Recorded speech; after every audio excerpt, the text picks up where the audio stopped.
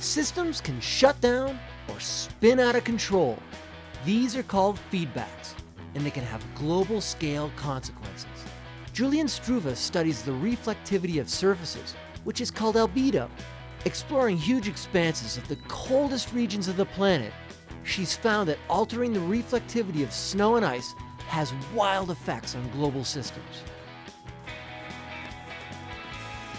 So Ryan, as you can see right here, the snow is very, very bright, which means it's reflecting most of the sun's energy back out to space. Uh -huh. And we use a term called albedo, which basically defines how much of the sun's energy is coming in versus how much is being reflected back out by the surface. Let me show you something that's pretty important. All right.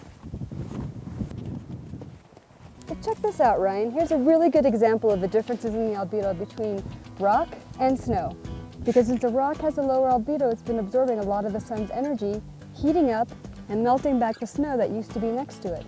So the rock is heating up, and when the rock heats up, it melts back the snow.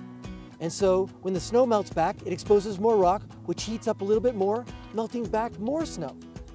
Well, basically, since large parts of our planet are covered by snow and ice, if the planet warms, we're going to be melting back that snow and ice and exposing darker surfaces such as rock or the ground. Would you expect to be able to go to these polar regions where there's a lot of snow and ice and see this ice albedo feedback happen? Well, we are seeing that happen predominantly right now in the Arctic region, where we've seen large changes in the amount of sea ice that's covering the Arctic Ocean.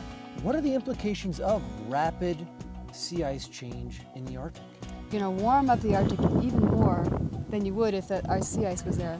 The fact that the Arctic is cold, the equator is warm, that drives all of our atmospheric and oceanic circulation patterns.